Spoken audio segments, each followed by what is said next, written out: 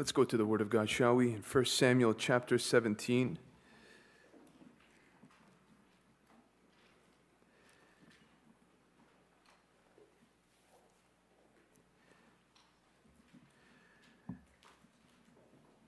You don't have to be a Christian even to know the story of David and Goliath.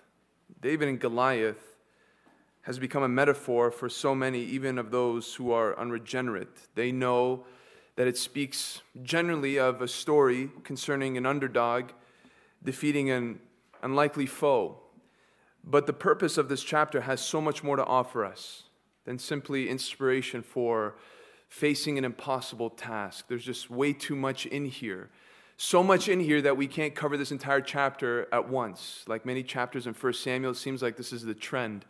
And that's okay because we want to glean everything that the Word of God has to offer us. And so let's read the first few verses here together, and then we'll pray and continue. 1 Samuel chapter 17, beginning in verse 1. Now the Philistines gathered their armies for battle, and they were gathered at Socoh, which belongs to Judah, and encamped between Socoh and Azekah and Ephes Dammim. And Saul and the men of Israel were gathered and encamped in the valley of Elah and drew up in line of battle against the Philistines. And the Philistines stood on the mountain on the one side, and Israel stood on the mountain on the other side, with a valley between them. Father, your Holy Spirit will make the difference for this meeting. We come to receive your word. We humbly admit that um, any gifting, any even knowledge apart from the Holy Spirit's assistance will not have its full effect in our hearts tonight. Please, Lord, you know where every soldier is at in this place. You know the encouragement that is needed. You know the clarity, Lord. Speak into the situations that we need. Your divine truth to shine on. And Lord, speak to us in a way that we didn't know we need to be spoken to. We just ask that you would have your way over your people, in your people, through your people. In Jesus' name, we ask these things. Amen. Amen. I'm sure up to this point we've noticed the amount of times that the Philistines have risen against the nation of Israel.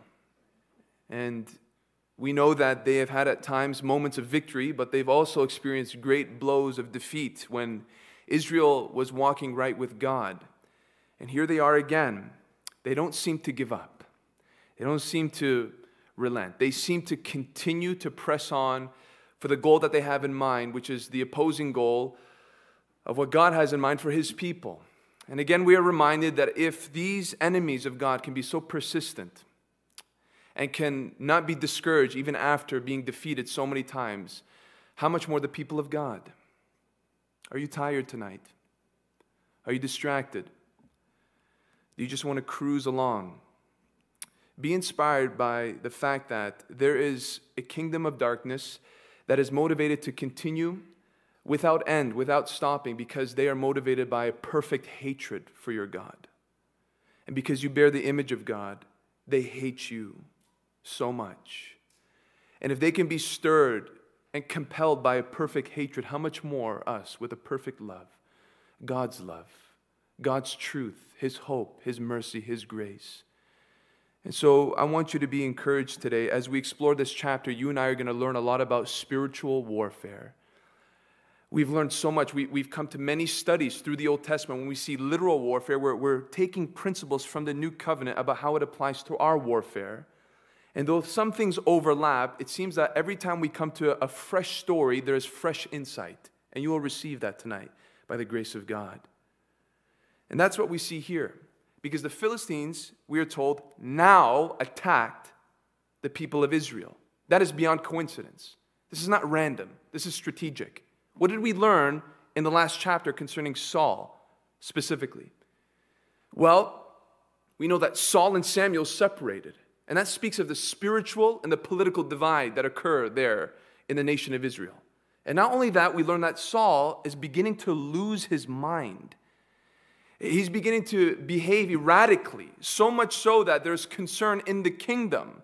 Now, it could be very well possible that news spread not just to the nation, but even to the Philistines themselves. Could be. This is just speculation. And if that is the case, then this makes perfect sense for them to attack at this time to take advantage of this vulnerable moment that Israel is in right now. And the enemies of our souls is no different. He is much more strategic than you and I would like to admit. He is. He is aware. He has studied human behavior long enough to know the moments that will be more profitable to him and the moments where he should pull back and not exercise his energy or his resources. And what we see here is that there is an opportunity, and Satan loves opportunities. He creates opportunities. Whether we realize it or not, he wants to take advantage of us because he operates with a different heart posture than our God. He is the direct opposite of how God responds to us in moments of weakness. Satan lacks mercy. He's not going to step back and let you have some time to breathe while you're enduring some, some trial or some storm.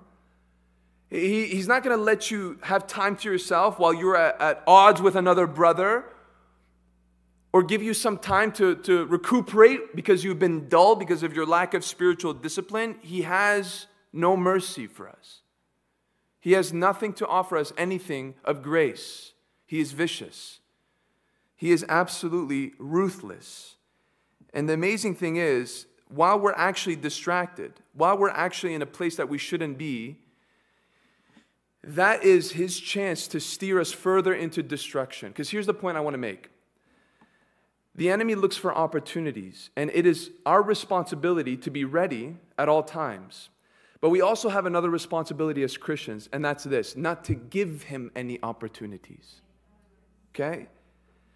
And many believers do not understand that part of spiritual warfare is not just preparing for onslaughts, it's making sure you're not the cause of it. The principle is true for individuals, the principle is true corporately. Our moments in the flesh are unintended invitations for Satan to work in and through us. Our moments in the flesh are unintended invitations for the enemy to come in, camouflage in our circumstance, and to begin to get his claws in what we are dealing with and to take advantage for it to be more destructive than you thought it could be. And if walking in the Spirit attracts God's blessings, then walking in the flesh certainly attracts satanic strategies. You have to understand this. It's as simple as even not managing our emotional state right. Here's proof Ephesians 4:26. You know this verse, don't you? Be angry and do not sin. Do not let the sun go down on your anger. Why? And give no opportunity to the devil. Give no opportunity to the devil. From what? From your anger.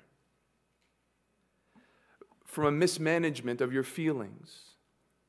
From an unwillingness to realize that if I don't deal with this with the wisdom of God, then this can actually be used by the unfortunate strategies of the enemy. And it's amazing here that this is one of the examples in the scripture that something as simple as anger that is undealt with, that is not brought before God, that is not communicated to the offended party or the person that has offended you, can actually lead to demonic accomplishments. Who knew that diffusing something as simple as anger, this is just one example, is a part of spiritual warfare? Did you ever think about that? And that's what Paul is saying here that if we do not know how to curb our frustration or other emotions, or habits, or patterns, whatever they may be, if we do not know how to come before the Lord and deal with these things in His presence and remain in a certain state for a prolonged time, we will find ourselves at a destination that we never thought we would arrive to. And sometimes we are so blinded, especially by something like anger, we're so blind we don't even realize that in that state, the enemy has put a harness on us and is taking us for a ride. And is taking a situation much further than it needs to go. This is going to help you extremely in life. I can guarantee you that. Let me give you this simple question Would you ever, in your, in your right mind, and come to me if you would, because I would like to sit with you and examine why you would. Would you ever, in your right mind, in the middle of black darkness, open your front door wide open and go to sleep calmly? I don't think there's one person in here who would do such a thing. In fact, we do the opposite. We bar the door. We put chairs in front of our doors. We lock the door in the door between the doors. We do everything to secure ourselves. And yet, we are willing to go to bed with anger. And it's no different in the spiritual realm than to have a wide open door for the enemy to come in without resistance and to have his way in the home of your heart. Paul says, don't wait on this because the longer you wait on this, things can get messy. Providentially, I was reading a book that I'm currently digesting of a Puritan, and this phrase popped up and it, it matched with this. And he said, The devil loves to fish in unsettled waters. Where he sees the spirits of men and women troubled and vexed, there the devil comes. A wise man is able to step aside from his emotions and to be able to determine decisions and discern a situation because he realizes this truth that even something that's bubbling inside him, even though it feels right, even though it's very real, even though it's, it's boiling in your blood, even though it's consuming your mind, if it's not submitted to the authority of the word, if it's not guided by the Spirit, then it can do more damage than good. And that means he knows when to confront someone and he knows not to confront someone. He knows what causes to fight for and he knows what to let die.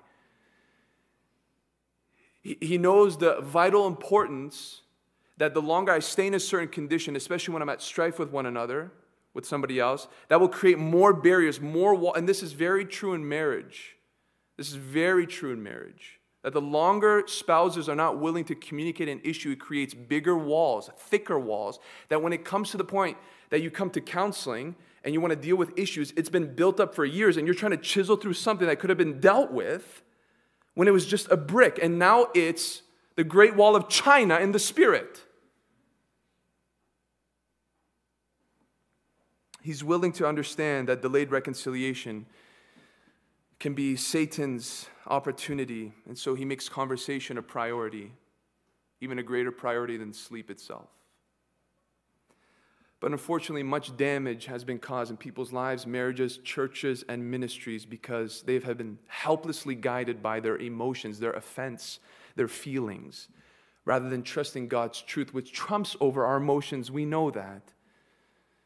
And so all I'm saying from this, though we can we can go along with it for a while, is the enemy looks for the right opportunity. In this case, Saul was debilitated. There is division. There's some friction amongst the people of God, and Satan's like, this is the time. Let's rank up the boys. Philistines, let's go. And so not only do we have to deal with that, there's another side. I have to be careful not to create that opportunity because he's an opportunist. What happens here? The Philistines show up in verse 3 and the Philistines stood on the mountain on the one side, and Israel stood on the mountain on the other side with a valley between them. I had a chance to go to Israel a couple years ago. And this was my favorite spot that we visited. For one reason, they didn't have all this tourist stuff there. And when they brought us there, we read 1 Samuel chapter 17. And would you know it? We were on the side that they believed Israel was on. And, and mountains in Israel are just really big hills. And there we were, and I have pictures standing there, and there's a valley, and then you look over, and Azekah, there's another hill, and I just visualized it. Wow. Could it be that this is where it happened? And so I still believe it did because I took five stones there and I put them in my, they weren't smooth, but I took them. I said, I'm going to carry five stones and bring it back as a memory. But I bring this up because when you're there, it's like a natural coliseum. And that's why you read a verse like this, you go, why is the Bible telling us this? The Philistines are on one side, Israel's on another side, and there's a valley in between them. It's like, why, why are those details significant? It's because the Bible is trying to paint a picture in our minds. The Holy Spirit wants you to visualize it and see it for yourself. But in a deeper way, we're being prepared for something. There's a monumental battle that's about to take place. So historic that we are still rehearsing the principles of that battle to this day. And here's the glorious thing that this is speaking about God's providence to a certain degree. Why? Where's David right now?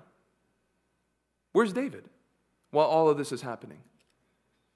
He's in some backyard, dealing with some sheep, chasing one, probably killing a lion or two. And there he is in private. And what is God doing? God is preparing the stage for his public ministry. God is creating the platform so that when David shows up right when God needs him, all eyes are going to be on David. You're going to have all of Israel watching, you're going to have all of the Philistines watching. And I take great comfort to know that while David is faithfully serving God in private, God is at the right time setting up the next move for him to graduate in God's program for his life. And David has nothing to do with it. David has nothing to do with it. Take great comfort to know that the Lord is providentially weaving piece by piece to fulfill the promise he has over your life and mine if we seek to serve him with everything within us. See, that, that detail, when it stands alone, it seems insignificant. Okay, great. They're on one side, they're on the other, and there's a valley in between. But we know we're seeing it through the lens of heaven. One piece after the other is being set up for this grand story to be told. And here's the thing we have to see God's work in our lives in the same way. See, you're looking at where you're at right now, and you say, you're saying to yourself, what does this have to do with anything? Not realizing that it's one wheel that's connected to another wheel, that's connected to a hundred other wheels, that must be connected to one another for the whole thing to operate right. When you look at the piece alone, it seems like it has no importance without you understanding that has great importance. And so do not despise the days of small beginnings. And this stage is being set, and it's exciting, isn't it? Because God at the right time is going to bring this man, though he has no insight for the future. Just like the Israelites who came out of Egypt, God already spied out the land for them. And all they had to do was trust him day by day. Verse 4 And there came out from the camp of the Philistines a champion named Goliath of Gath whose height was six cubits and a span. He had a helmet of bronze on his head, and he was armed with a coat of mail, and the weight of the coat was 5,000 shekels of bronze. And he had bronze armor on his legs, and a javelin of bronze slung between his shoulders. The shaft of his spear was like a weaver's beam, and his spear's head weighed 600 shekels of iron, and his shield bearer went before him. Here we are, introduced to this infamous villain that you and I have heard of practically our whole lives. We've memorized this story, we know it inside and out. But the Holy Spirit is not wasting real estate in His Word. Every detail that we just read has importance. There's some principle, there's something there for us to learn concerning spiritual warfare. And here's the first thing that we learn this champion, Goliath, steps on the scene. And the first thing that we are told about him is where he's from. Where is he from? Gath. Have we heard that before? Have we heard of this region before, this area before? We have. Who were the Israelites intimidated by, the first generation, when they came to spy into the promised land? What was it that they were so afraid of more than anything else? Giants, the Anakim.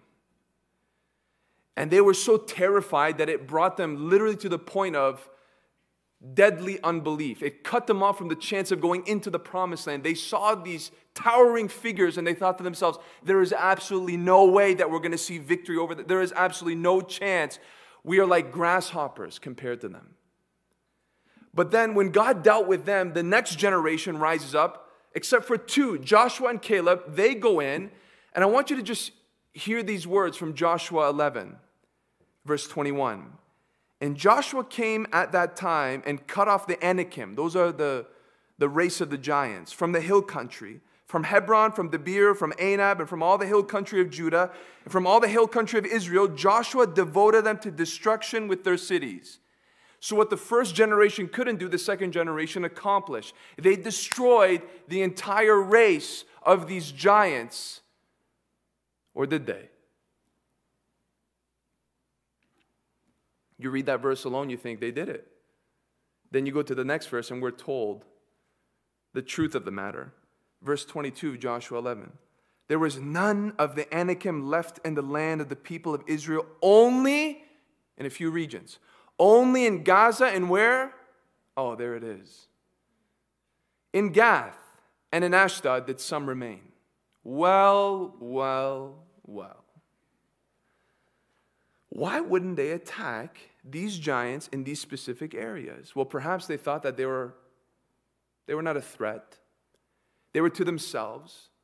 They were quiet.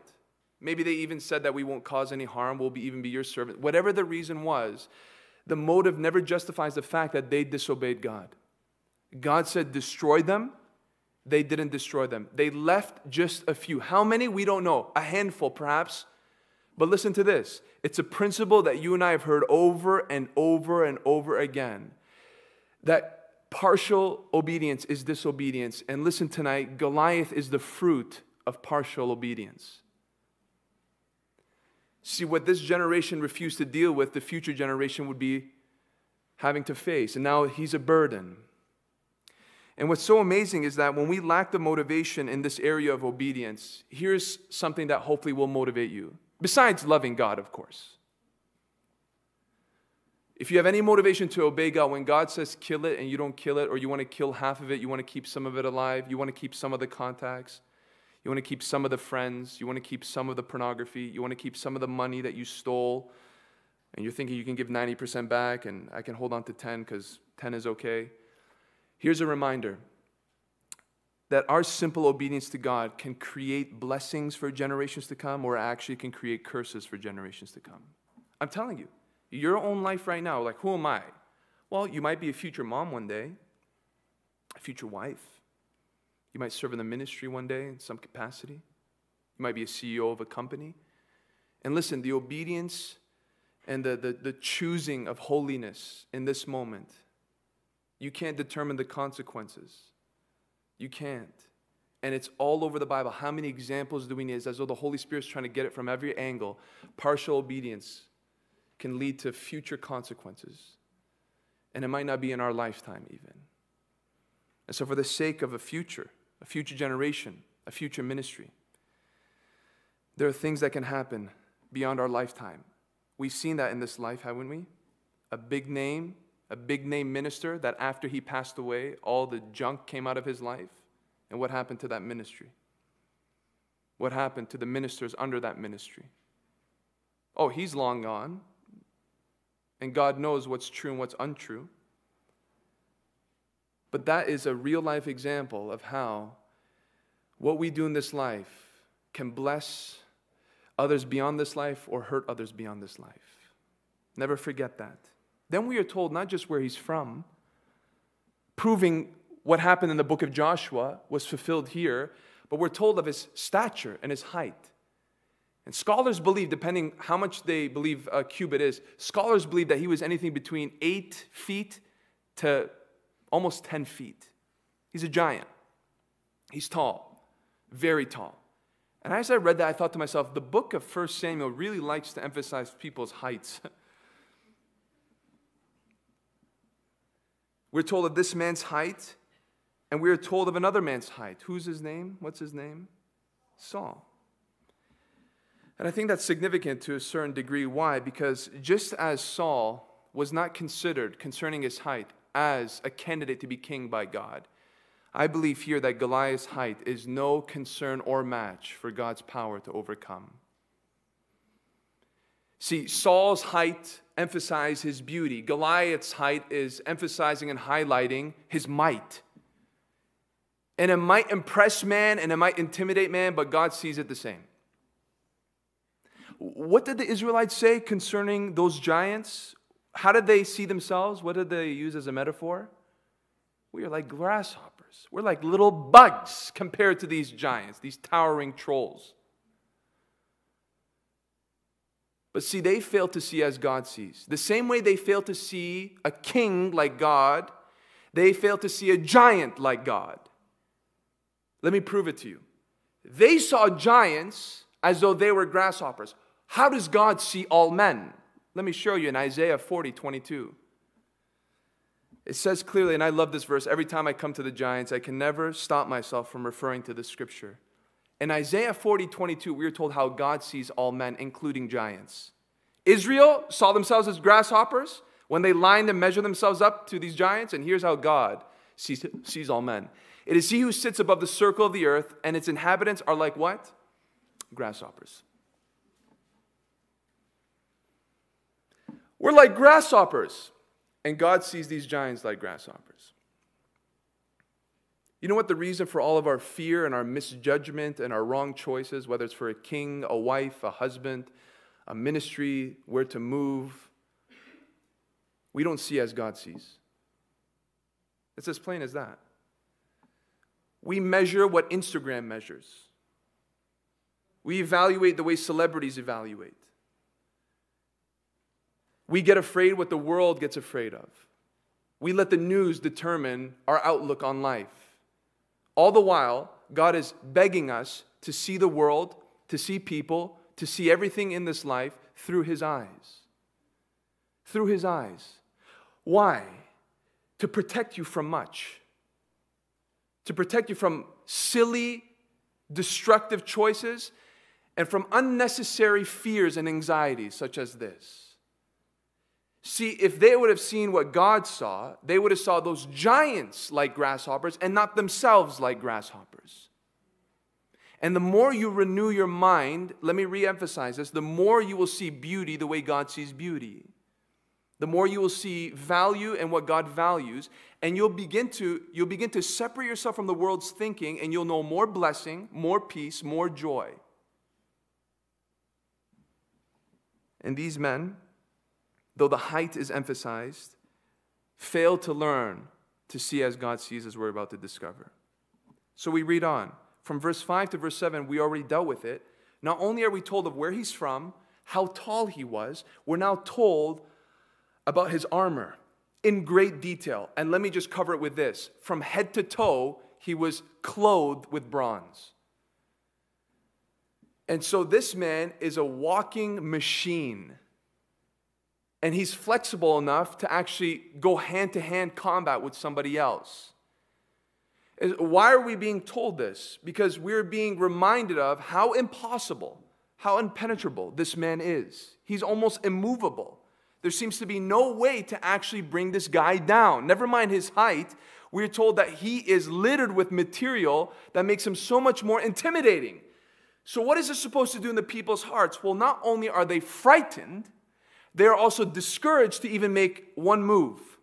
They can't even think about advancing one step forward because what they see across that valley is an impossible situation. And I can't help but think that this is how perhaps many believers, true believers, believers that actually care about the kingdom of God, sincere Christians, I can't help but believe that perhaps there are some believers feel this way when they look out beyond the valley into the horizon and see a world that has been professionally and demonically shielded so that they would be almost impossible to be influenced by God.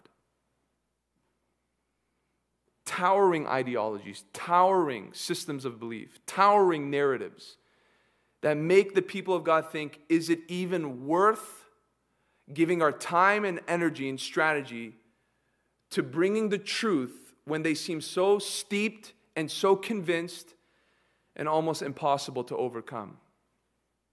And if we're not careful, we can create this Christian faith to be something where we just gather ourselves and we make it about ourselves and it's all about us and we, we fail because of whatever reason.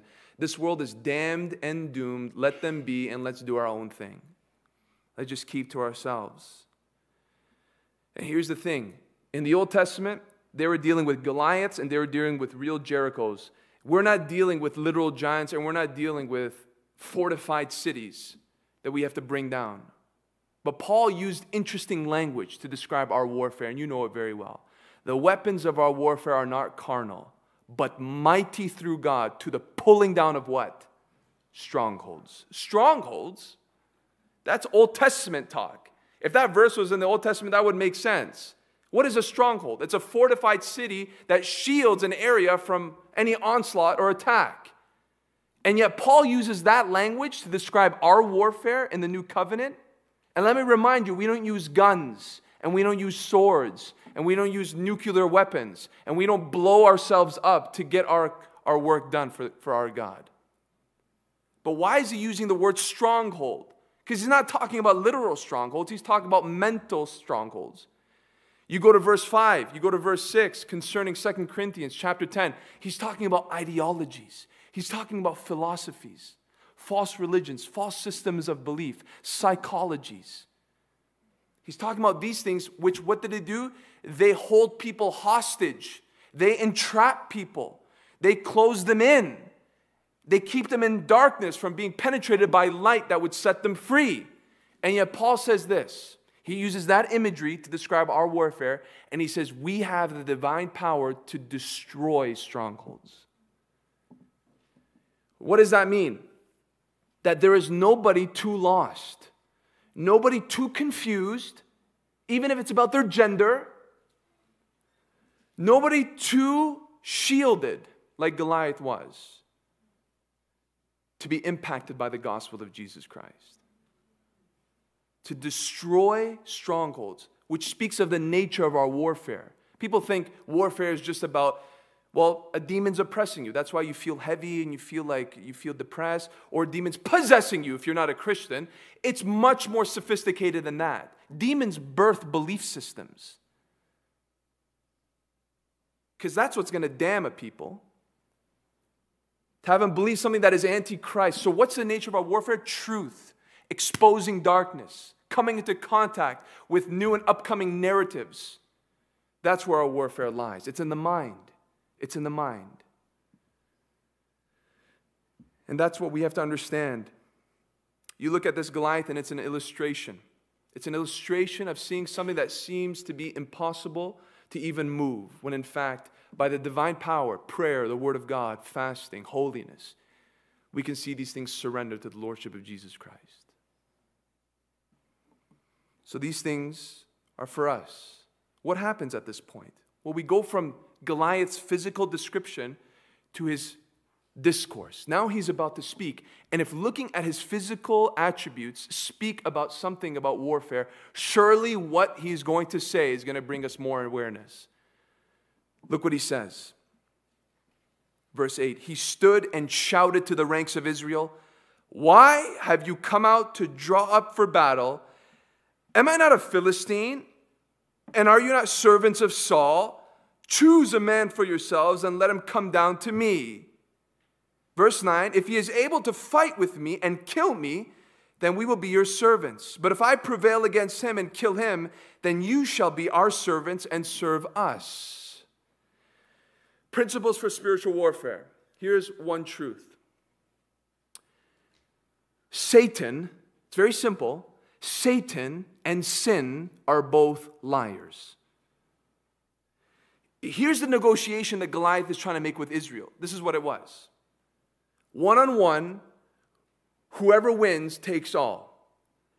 You bring a man to me. If he can kill me, then this nation will serve your nation. If we destroy him, then you must serve us. Pretty convincing, kind of intimidating but it's a big deal. The point I want to make is this we know who wins in this story, right? But what happens after David wins?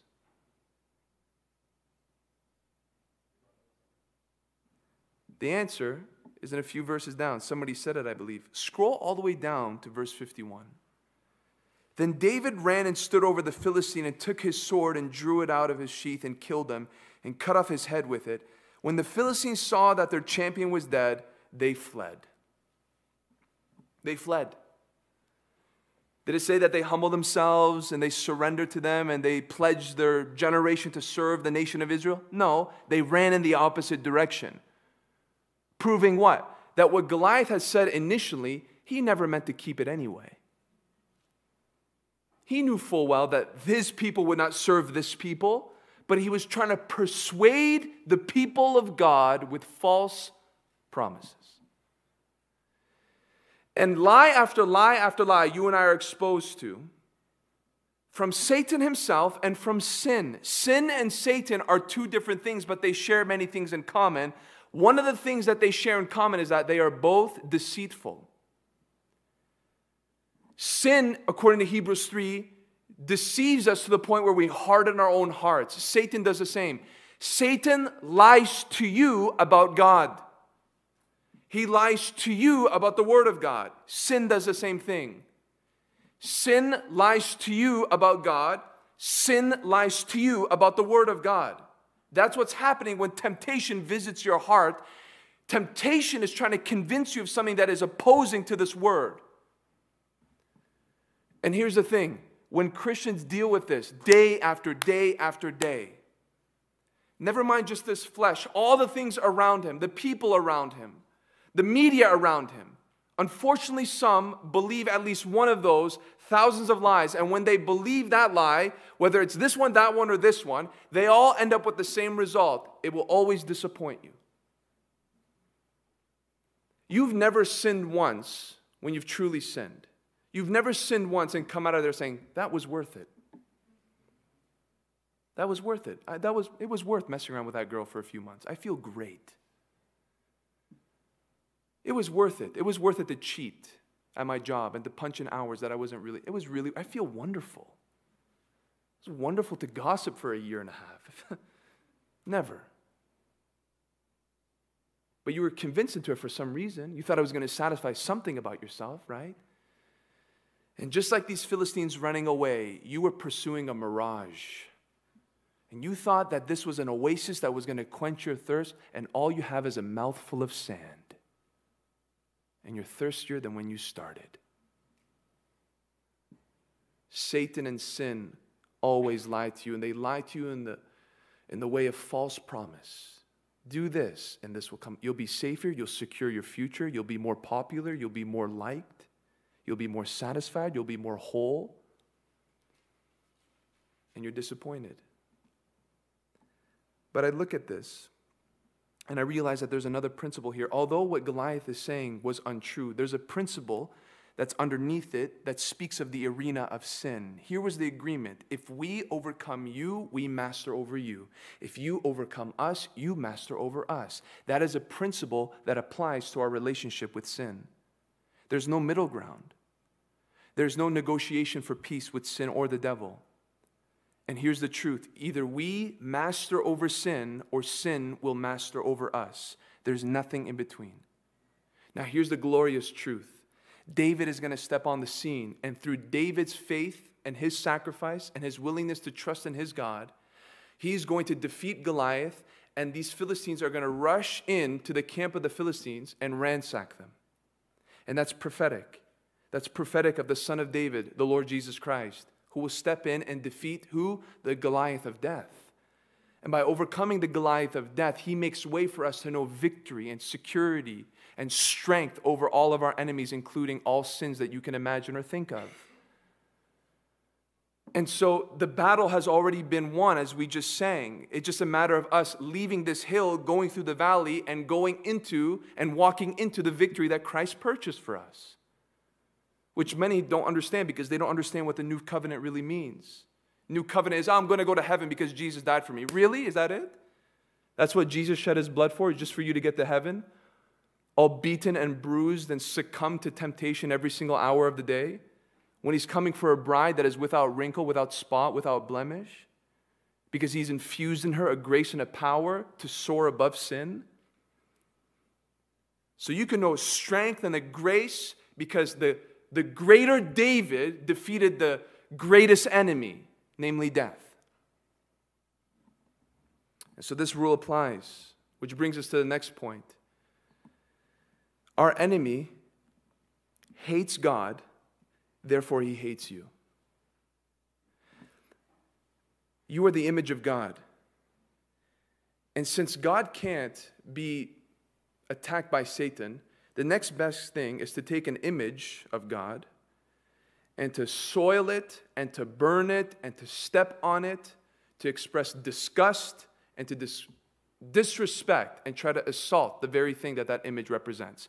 And that's why, that's why Satan, the core of his ambition, is to destroy the images of God represented in you and me. Look what he says here in verse 10. And the Philistine said, I defy the ranks of Israel this day.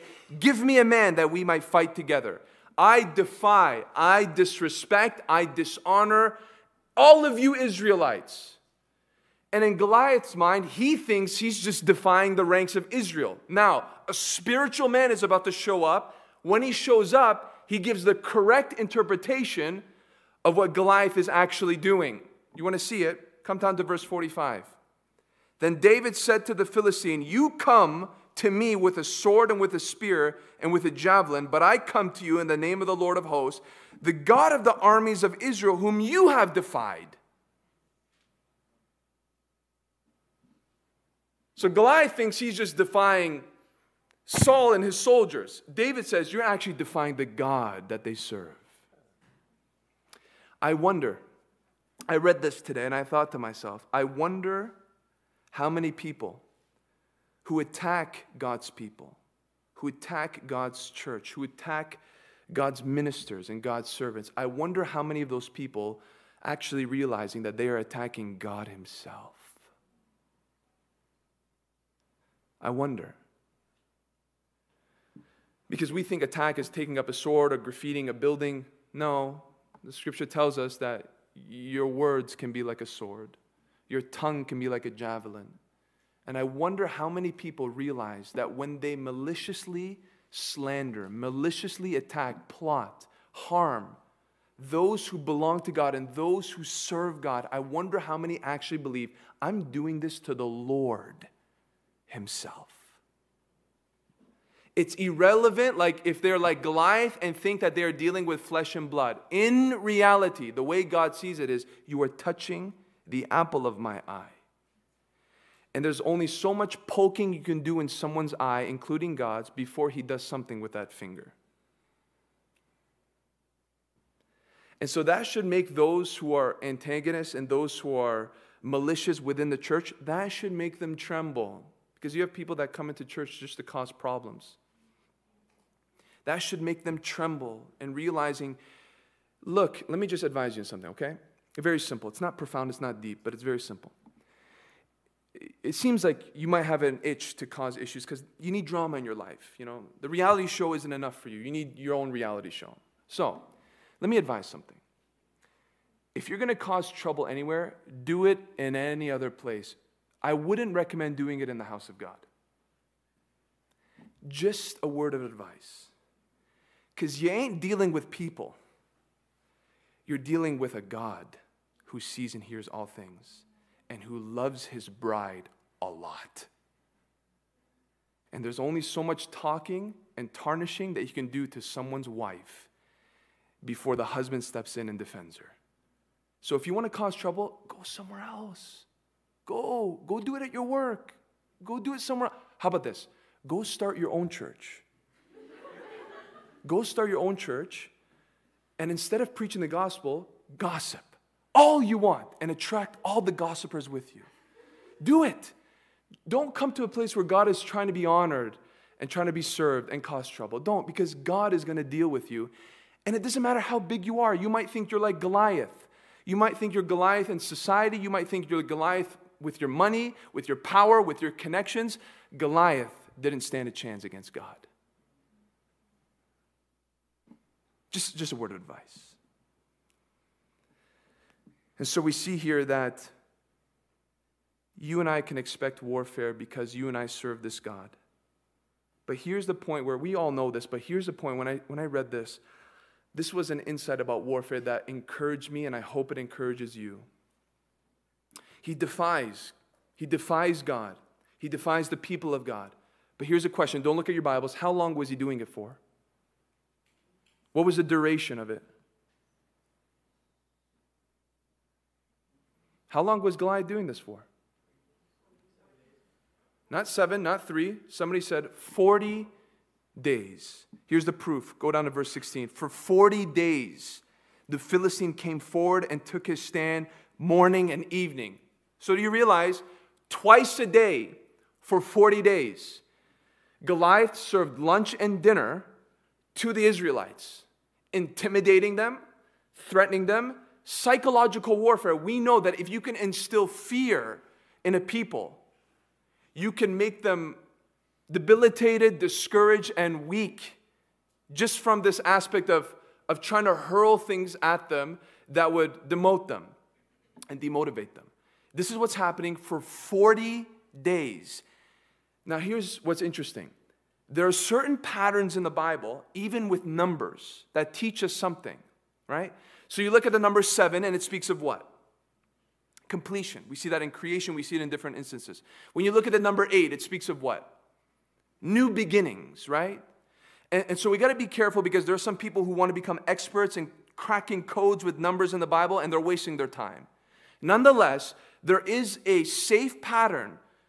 There's a thread with certain numbers in the Bible that speak of a theme that it is trying to teach. And when you look at the number 40, I mean, tell me some events that are related to the number 40. Temptation of Jesus, 40 days and 40 nights. Good. The Israelites in the wilderness for 40 years. Absolutely. Elijah, yes. Moses in the wilderness, right? Before he was called out by God to bring deliverance, 40 years in the wilderness, in the backside of the desert. So we, we get that 40 here, 40 there, 40. What does that number represent? Mainly, not at all times, but mainly it speaks of testing, it speaks of trial, it speaks of times of trouble. And when you come to Goliath doing this for 40 days, it is not an accident. That number symbolizes something. It symbolizes the fact that he is doing this and God is allowing it for 40 days on purpose because we're going to find out next week that David shows up as the delivery boy on the 40th day. That's not an accident, that's providence. So the fact that this is 40 days implies something, it's teaching us something. God allowed this psychological warfare to occur as a test. As a test for his own people. When you test something, depending on how you're testing it, you are trying to reveal the substance of a matter. When you go do your test at school, it's, it's trying to expose and reel out of you what's truly inside this brain. What did you gather throughout the semester? When you test material, it does the same thing. How pure is this gold? How pure is this silver? When God tests us through different means, He wants to see the quality of our faith and the truth of our character.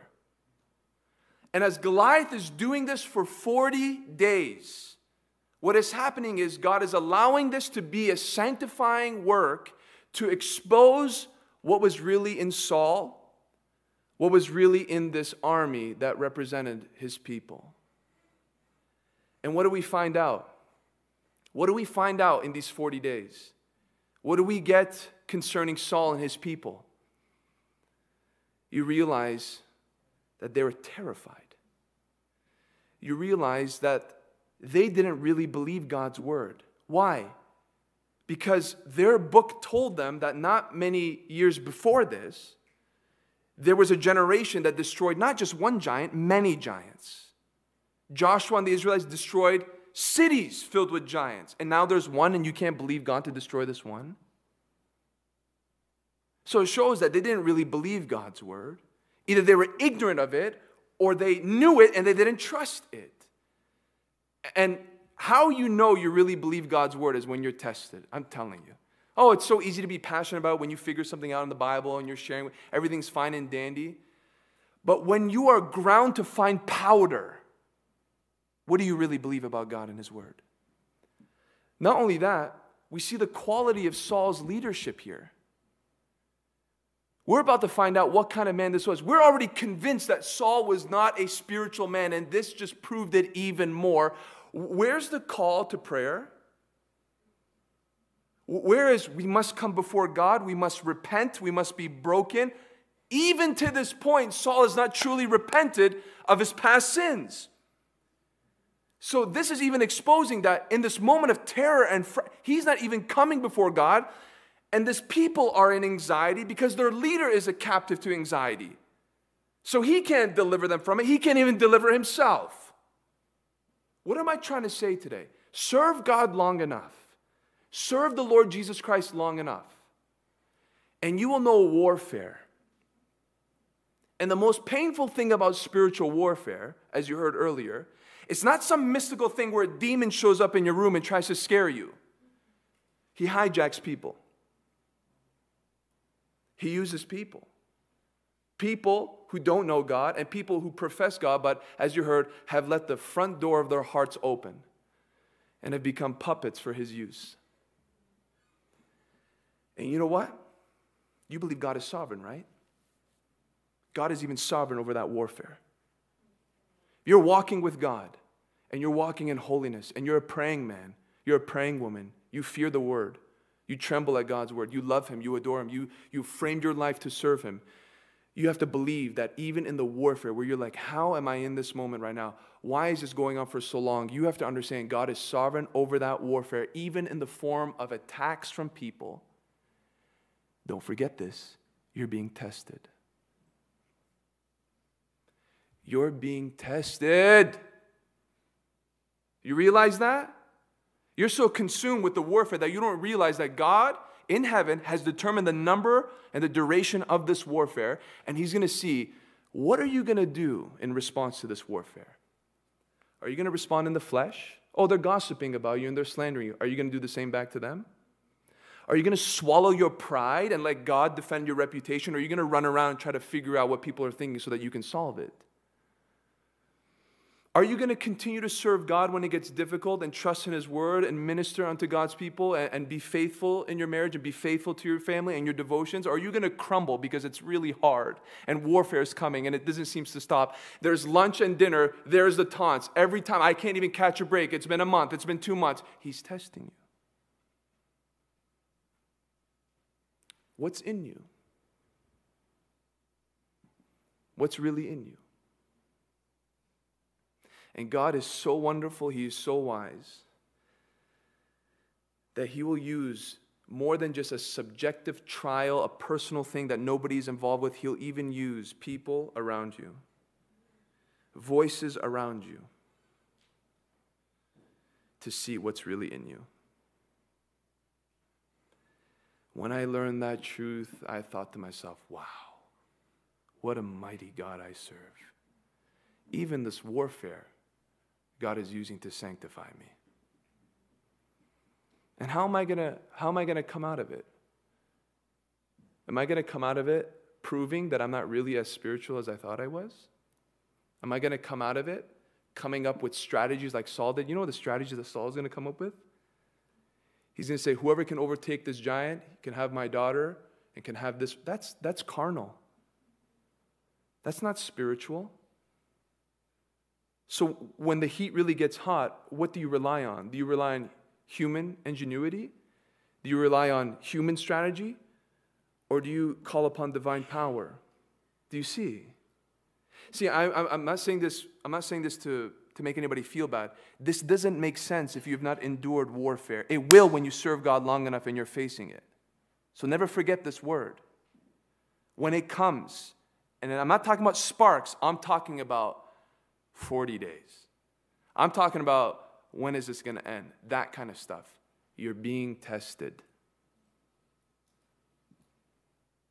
And unfortunately, we read of the response in verse 11 to just the first day of this trial.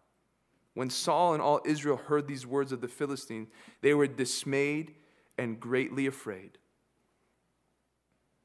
And throughout that time, Saul's going to come up with strange strategies. The people are just going to grow in their fear. And it's going to take a farmer boy to step on the scene. And he's going to look at this Goliath and he's going to see a grasshopper. Because somebody's been spending time with God and somebody actually believes God's word. And guess what? It wasn't the king, it was some unknown shepherd. But you know, I read this and I thought to myself, and we're closing here. The people are afraid, sure, but Saul could have done something as a leader, but he didn't. Why was Saul afraid? Well, we can give different reasons. He was, he was in sin, he was unrepentant, he didn't know God, he wasn't really spiritual. Sure, but this is not the first time that, that Saul has stood before a foreign foe. Go back to chapter 11. This is when we are first introduced to Saul after he's anointed to be king. And look here, after the Ammonites come and news gets to Saul, look at the response in verse 6. And the Spirit of God rushed upon Saul when he heard these words, and his anger was greatly kindled. Then he goes, and though they are the underdog in that story, remember, they are the underdog. How are they the underdog? They didn't have the right amount of people. They didn't have the standing army. This, this king thing just started, and they still overcame the Ammonites for one simple reason the Spirit of God was on him. What happened in the last chapter? Look at verse 14 of chapter 16. Now the Spirit of the Lord departed from Saul. Then chapter 17 comes.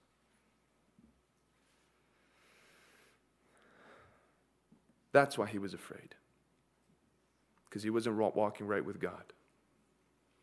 And God removed his presence from him, he removed his empowerment from him, he, he removed his known blessing to him. And because of that, this fear was more real than anything else. This crippling concern overcame him instead. I want to tell you something. There's so much that we are opened up to when we are not walking right with God. When we choose to hold on to our sin, when we choose not to cultivate our relationship with the Holy Spirit, we will feel things that God did not intend us to feel. We will be burdened by things that we are not supposed to be burdened by. We will be challenged by things that we are supposed to be confident in. I want to let you know something. I'm saying this in closing. There's so much that you and I inherit when we are walking right with the Lord. And I want to tell you one of those things it's a godly confidence. There is a God, not a proud, arrogant thing. I'm talking about a godly confidence. Listen, it's so real, it's so tangible. And that's the difference between you can take two Christians and they can be dealing with the same situation, and you have two different commentaries on it. And oftentimes, it's because one knows the Holy Spirit, while the other perhaps hasn't been filled for a very long time, or perhaps they're not walking right with God. So I want to let you know there is a godly confidence that comes with holiness. I, one of my favorite proverbs is this God is a shield to those who walk in integrity. God is a shield to those who walk in integrity. And that man, David, is about to show up on the scene next week, and you're going to see that. You're going to see it so clearly, and we're going to see Jesus very clearly in that passage as well. But let's bow our hearts before the Lord as we close.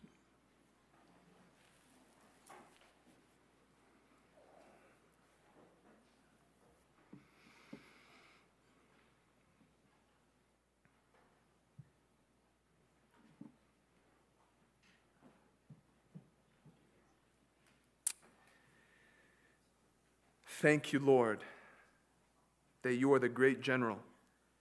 You love to equip your, your saints to be successful in the Spirit.